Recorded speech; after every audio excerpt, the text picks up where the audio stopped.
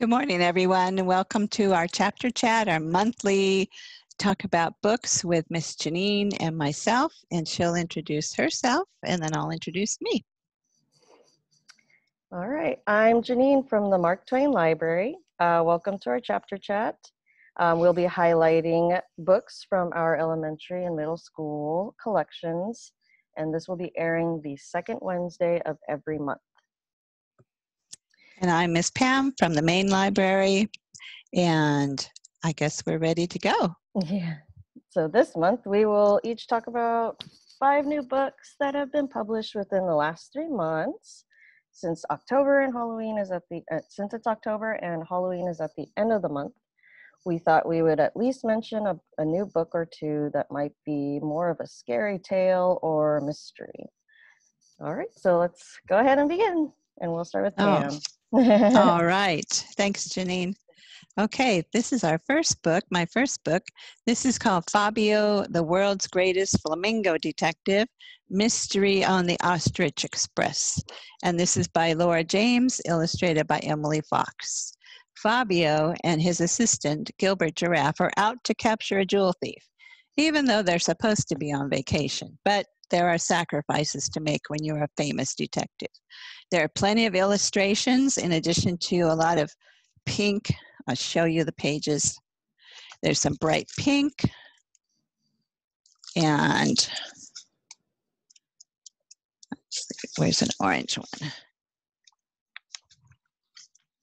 Pink and, and a lot of orange and different colors. So this is a very vivid, colorful read just as enjoyable. There's a number first, there's a first book in the series, and it's a lot of fun. It's a beginning chapter book, and you can challenge yourself to solve the mystery before Fabio does. And that is Mystery on the Ostrich Express. Very cool, very cool. so, my first one that I wanted to highlight was this book, Scary Stories for Young Foxes. As you can see, you understand why I chose this. So I actually listened to this book and it was amazing. Uh, it's basically about, it's told uh, first, you're set up in the story. Um, these young foxes actually want to go to a storyteller. They want to hear a story that will turn their entire tails white. So I guess it's one of those things where if you see a fox with a white tail, that means they actually sat through the entire story and listened to it. Um, many of many of the little fox, the kits, there's little kits that actually go to the storyteller, and they there's seven of them, I believe. I think was, yeah, seven of them, and each of them, obviously, they are they range in age, but the oldest is actually the bravest and even the beta the alpha and the beta you know they're all really brave but then they find out that you can they can't all really sit through the entire story because it's so bone chilling so it's really good. It's actually um, i i was really worried throughout the entire book about what was going to happen to these two foxes. And it was pretty pretty interesting story because you actually get to see them fight for like actually try to survive and fight um, all the different challenges that actually they actually encounter in the woods, including humans. So it's pretty interesting. I really enjoyed it, and they have some pretty scary illustrations inside too. Oh. Yeah. So it's all black and white and it's pretty cool because it's like a sketch art but it's really really cool i love it it's all the, de- the details that was really good so but yeah and uh, it also is a newbery honor book as well. So it it's pretty pretty good. Sounded too scary to me. I, I haven't been able to read it yet. So I, I guess my tail would not turn white. Yeah. My next book is called Iggy Peck and the Mysterious Mansion by Andrea Beaty, illustrations by David Roberts. And this is part of the Questioneers series. But have you ever been to a real haunted house? Iggy Peck thinks he has. During a storm, he shelters at the mysterious mansion that has a rumor that it's haunted. but he's an architect, so he's fascinated because there's lots of architectural styles in this house. It's like they did some and then they added some and then they did more and more. So it's it's really exciting to him but it's also still still spooky especially in a storm. Luckily for him his friend ada twist and her great aunt bernice show up to give him a ride home. She has actually been given the house by the former owner because he wanted to give it to someone who loved their town which is blue river creek and respected the history of it. And she owns a, a store where she sells artifacts from the town's history. So the, she was the perfect choice. But when they go back the next day, the porch boards start moving like piano keys up and down and up and down. And they begin to wonder is this house really haunted? And also, when they go in, there's no furniture. And she needs the furniture in order to open it to the public. Excuse me. Um, so it's up to Iggy and his friends to use their technology and their engineering skills and their curiosity to find out is the house really haunted and where is that furniture? And so the questioneers, they inspire us to ask our own questions and follow our own unique interests. So this is Iggy Peck and the Mysterious Mansion. Very cool, very cool. I really want furniture in my own house, so I can't imagine if you don't have furniture there. yeah. and then having to hunt for it like a scavenger hunt. I know. oh boy. Okay, so my next one is another Newbery Honor book as well. Mm. This one is called Other Words for Home. This is actually in our middle school collection. We just received this in August. So it's a very interesting story. This is Jude that you see on the cover. She's actually from the war torn country, Syria. And it is so heartbreaking that she has to leave her beloved father and older brother. It, and she has to leave the country and leave them behind, unfortunately, and move to America in Cincinnati.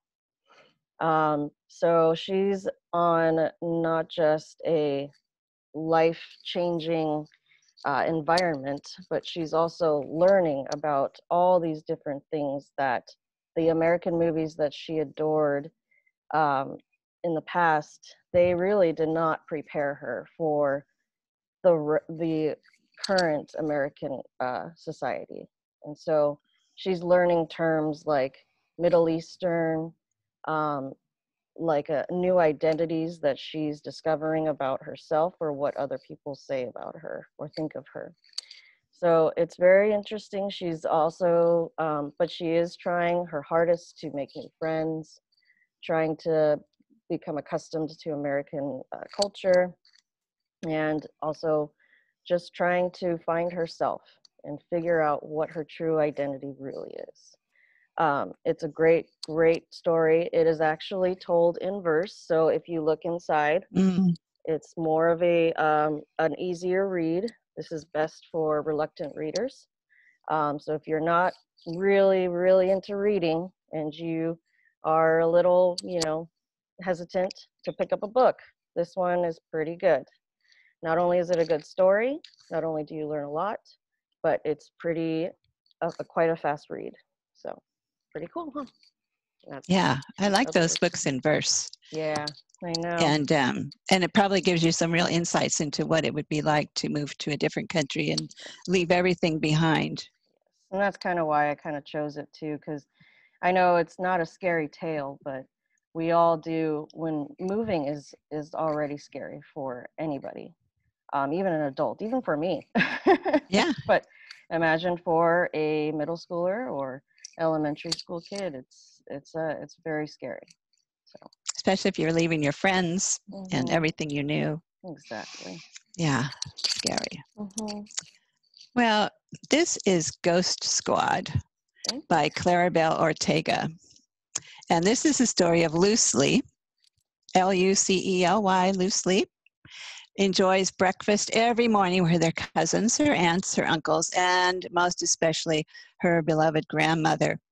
But if someone was to peek in their kitchen window, they would only see Lucy and her dad because the others are ghosts. and they are in firefly form when they are not in human form and they live in little jars hanging from the willow tree outside their house. Well, Lucely's dad has a ghost tour, but business is bad, so they might lose their house unless something happens. And even worse, there's something strange happening with the fireflies. They're kind of flickering in and out, so it seems like they're losing their strength. And they seem to also be reliving how they died, which is kind of creepy in some cases. But worst of all, her grandmother one day flickers out completely. So Sid, her best friend, and Lucy they decide that they're going to use a spell and wake the spirits just to get her grandmother back. But unfortunately, they wake up the evil spirits too when they try this spell. And they have to get Sid's grandmother, who's a powerful witch. She's one of Las Brujas Moradas, which means purple witches, that used to guard their town. And she kind of kept that quiet, but now she has to use her power to help save um, the relatives and the town from the evil spirits that want to take it over. They're seeking, oh, well, I don't want to give it away, but it's a very cool book and very different, very, very different because it seems like everyone takes ghosts for granted in this town. But the best thing is Sid and Lucy's friendship. Oh, and I just wanted to share grandma's uh, rules for dealing with evil spirits. Be prepared, respect the dead, always have a cat. And that is Ghost Squad. Cute. I like the always have a cat one. Yes. us library, us library folks, you know. yeah, we, we would love to have cats very cool. It kind of reminds me of um, the last book, one of the books, Gallon, or uh, get, uh, I think I got their their names mixed up, but they save the universe or something like that, or they break oh, the universe. Uh, oh, Sal and Gabby. Yeah, yeah, yeah, yeah, yeah. They took they took ghosts and spirits for granted right. also. Oh, very interesting. When you said like, oh, they're trying to save their grandmother her spirit and all that. And I was like, yeah. oh, it reminds me. They, I think they saw Sal and Gabby saw her the grandmother that passed away. oh, his mom. Yeah. Oh, his mom. Yeah. Yeah. Very interesting. Very interesting. Pretty cool. Okay. Um, I wanted to share this one, 96 Miles, um, mm. by J.L. Esplin. This also is, I chose a lot of award winners. This also is an award winner. It won the G, JLG, uh, Junior Library Guild, um, the gold standard, right there. Um, so what it is about is about these two boys. They have a, I think, I believe they live with their father, and their father has always been, you must be prepared, kind of like the the Boy Scout motto, just always be prepared. So they would always be prepared with any disaster. They would be fully supplied um, with food and whatever emergency supplies that they have.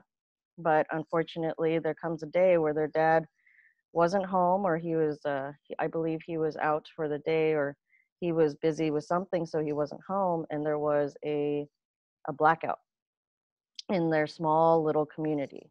And they actually live 96 miles away from the nearest town where they could get any type of supplies or um, any food or anything like that. And that probably is why they try to be disaster prepared.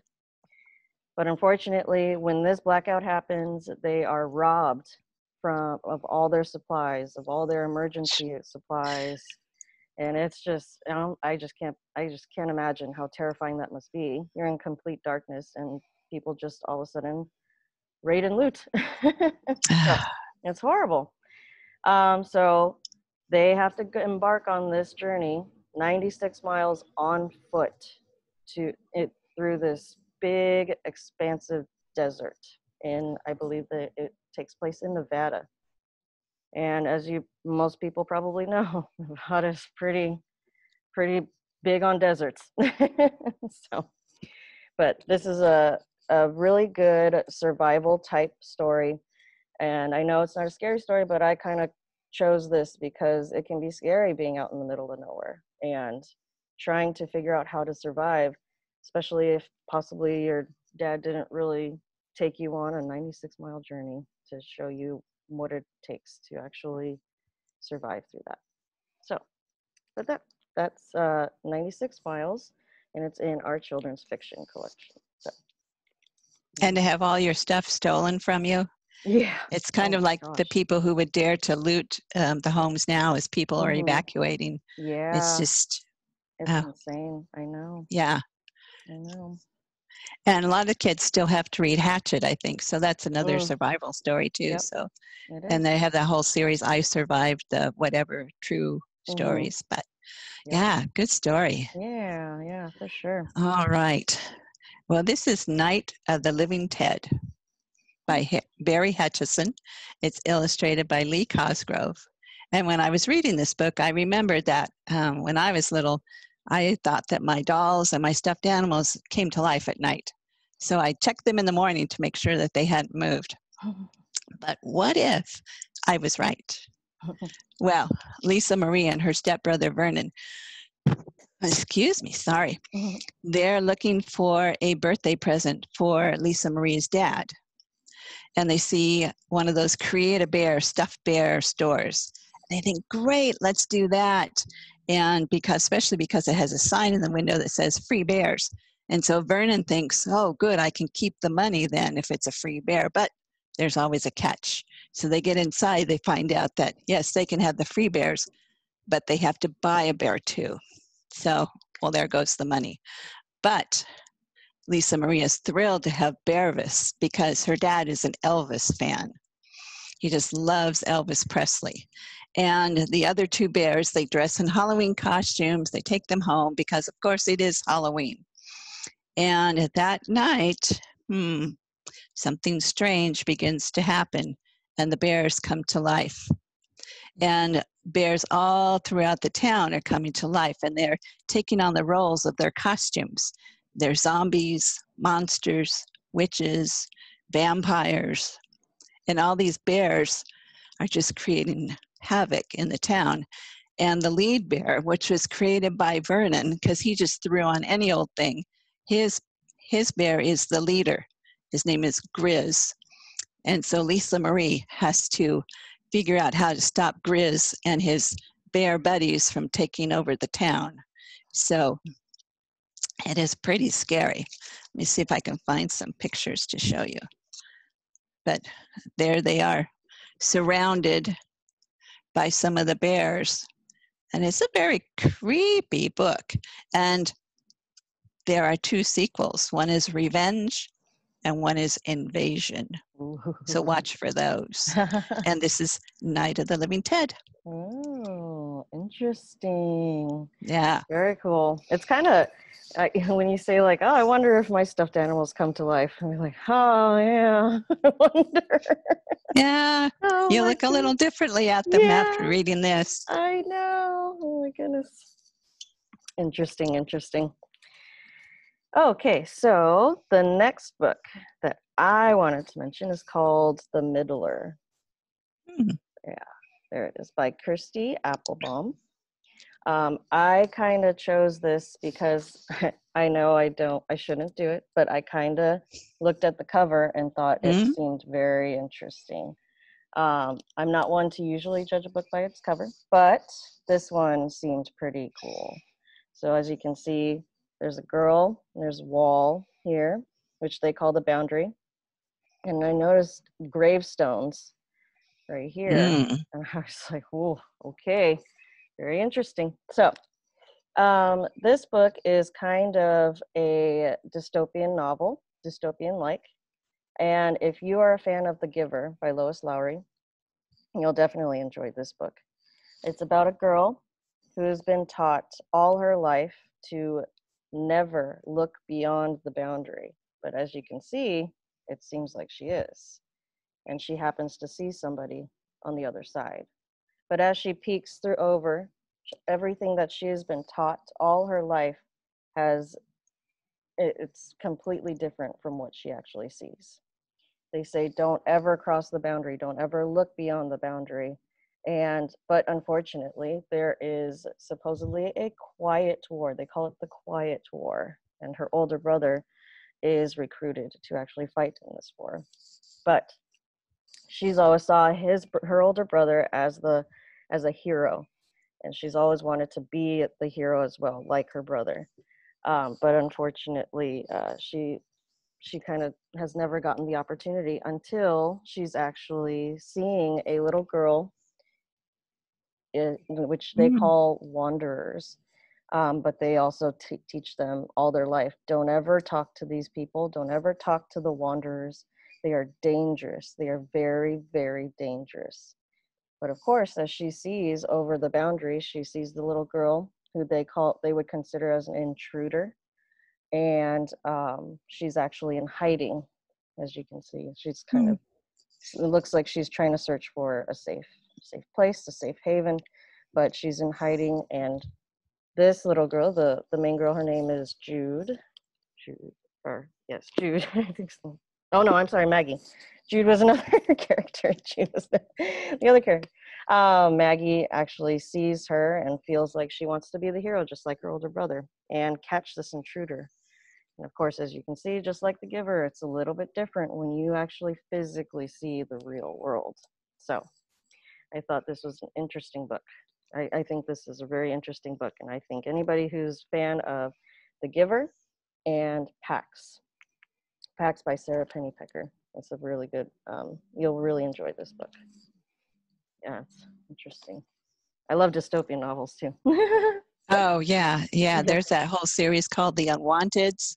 Um, yes, um, where oh, they I read separate. the first one. Mm-hmm. Yeah, that's a really good oh, series. I know. And I think that um, Mary Hahn, I, I think she has some uh, a couple of series that kind of deal with mm-hmm. the same thing. So yeah, and um, yeah, Haddix, I think also. Mm-hmm. Haddix, Haddix is another one. So. So yeah. is this going to be a series? I didn't notice that. Okay. Um, at least when I was looking up the book, but yeah, I, if it is, I I really want to. I, I would really want to read the whole series. Yeah. Oh yeah, mm-hmm. yeah. Well, I saved my favorite one for last. This is The Incredibly Dead Pets of Rex Dexter by Aaron Reynolds. Rex really, really, really wants a pet, but his parents don't think he's responsible enough. But on his 11th birthday, they give him a practice pet, a rooster of all things. So he takes the rooster to the pet store to get him some food and supplies, and he takes along his best friend Darvish. Darvish is such a loyal friend. No matter what kind of things Rex does, Darvish sticks by him. Well, unfortunately, right outside the pet store, there's a, a carnival game, the Grim Reaper, and Rex gets distracted by that because he just wants to know what the Grim Reaper would say to him. And while he's doing that, the rooster gets run over by a steamroller. So, so much for a practice pet. And also, Rex gets a little card from the Grim Reaper, and it it has the strangest thing. It has something about dead animals and oh it's just very very odd. Well when he gets home the rooster's there. And the rooster is well you can see he's dead but he's alive to rex.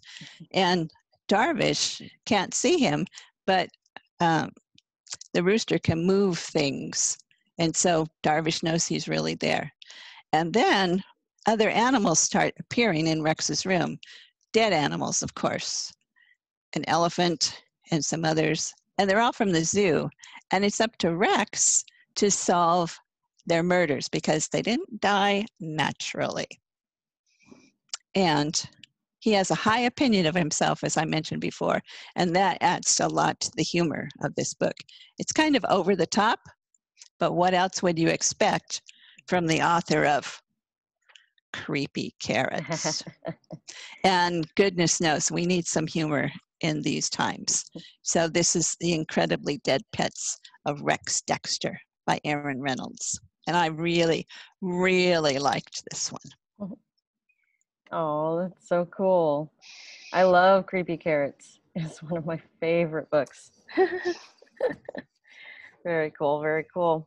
Oh, it kind of reminds me of the book. I think I talked to you about it, um, Belly Up.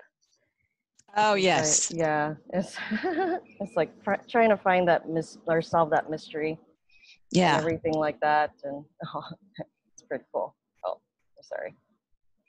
There. And that one has a great cover too. Oh yeah, The belly up. I know. hippo. the hippo like upside down. I'm like, oh. okay, so I wanted to highlight this book.